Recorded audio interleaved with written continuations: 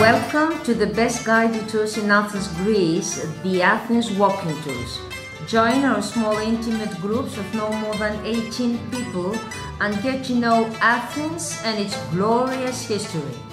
We, the guides of the Athens Walking Tours, are local Athenians, licensed professionals, university graduates, but most of all, passionate with our job.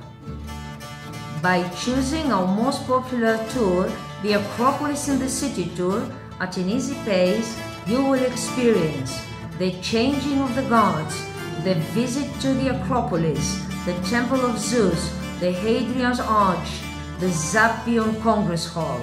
We will enjoy the shade of the National Gardens and our stroll on the beautiful pedestrian pathways will lead us to the highlight of our tour, the Acropolis of Athens. We will take you inside the Acropolis and explain the history of its splendid monuments such as the Parthenon, the Nike Temple, the Erechtheion and the Propylaea. Angelo, Vicky, Aristotle, Despina and many more of the excellent Athens Walking Tours Guide will be more than happy to be your hosts. See more of our tours on our website and book your tour now.